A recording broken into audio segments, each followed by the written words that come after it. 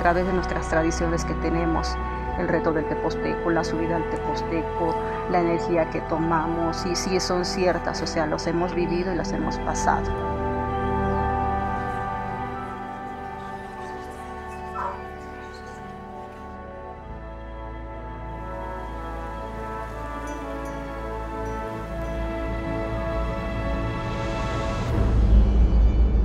Como ritual es ser chinelo, es lo máximo, es pertenecer, porque te formas desde chiquito.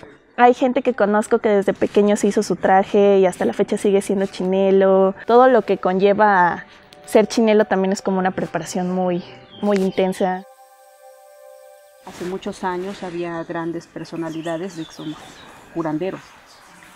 Sí, todo salía conforme ellos decían que se iba a hacer o lo que iba a pasar. Se viene a hacer la ofrenda al teposteco, traen el mole verde, los tamales. Sube la gente, sube, los tienen que subir a hacer el, el ritual.